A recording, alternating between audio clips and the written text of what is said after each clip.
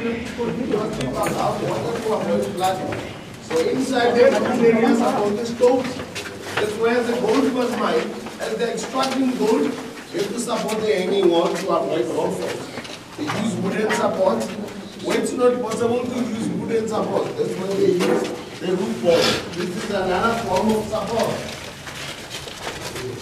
Light is on the பாதை கட்சி